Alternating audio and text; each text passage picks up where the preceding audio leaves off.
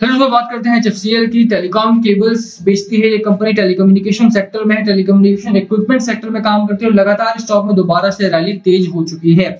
जैसे ही 5G को लेकर के यहाँ पर ट्रायल स्टार्ट हुए हैं वोडाफोन आइडिया में और एयरटेल में, वैसे ही एच में भी एक अच्छी रैली शुरू हो गई है। बात करें यहाँ पर एच की तो एक अच्छा मोमेंटम बना हुआ है लगातार। इस वीडियो में बात करेंगे टारगेट्स की बात करेंगे, यहाँ पर खरीदारी करके पैसा बनाया जा सकता है, क्योंकि एक अच्छी रैली में ना लगातार ओवरबॉट में होने के बावजूद भी तेज़ी से स्टॉक बढ़ रहा था हमारा, क्या यहाँ पर दोबारा से उस तरह की रैली एक्सपेक्ट करनी चाहिए आपको या नहीं? क्या होने वाला है, क्या नहीं, बात करेंगे, सब कुछ चलिए शुरू करते हैं बट उससे पहले अगर आप चैनल पे नए हो तो प्लीज़ चैनल को सब्सक्राइब कर दो and hit bell icon so that you notification on time चलिए स्टार्ट करते हैं। बात करें एचएफसीएल की तो एक अच्छा स्टॉक है इसमें कोई दो राय नहीं, साढ़े चार परसेंट का मूव यहाँ पर आपको देखने को मिला है।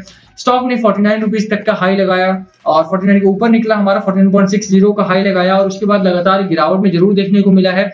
बट दैट डजंट मीन कि स्टॉक वीकर सेक्शन में है। स्टॉक अभी भी काफ़ी स्ट्रॉन्ग है। आप देखेंगे तो वोडाफोन आइडिया की बड़ी डील हवाई के साथ भी साढ़े चार सौ करोड़ का इक्विपमेंट वहाँ से आया है। और साथ ही साथ अगर एयरटेल की बात करें तो एयरटेल ने वन बिलियन डॉलर्स का इक्विपमेंट एरिक्सन कंपनी से ऑर्डर करके मंगवा लिया है। तो लगातार 5G को लेकर के बड़ी तैयारियाँ चल रही हैं और ऐसे में एचएफसीएल का बड़ा फ़ायदा यहाँ पर होने की संभावना है। और यही एक मौका होता है आपके पास खरीदारी करने का, जब कंपनी तैयार हो रही हो बड़ी रैली के लिए। यहाँ पर एचएफसीएल तैयार हो रहा बड़ी रैली के लिए। बात करें कुछ एक लेवल्स की हमारे सामने तो देखो 42 40 42.5 का हमारे सामने एक इंपॉर्टेंट लेवल है, जो एक इंपॉर्टेंट सपोर्ट जोन है। ये मुझे लगता है अगर गिरावट होती है किसी भी वजह से तो यहाँ पर स्टॉक बाउंस बैक लेगा यहाँ से। 55 का हमारा शॉर्ट टर्म का टारगेट है लॉन्ग टर्म का 84 रुपीज़ का टारगेट था आपको याद ही है जो मैंने आपको पहले भी बता रखा था एच में। और मुझे लगता है कि जल्दी ही एच एफ़ फोर तक ट्रेड करता हुआ देखने को मिलेगा बिफोर फाइव जी लॉन्च ठीक है? पहले ही आ, मुझे लगता है एच एफ़ चौरासी रुपए तक जा सकता है। सिक्सटी सेवन का आरएसआई है।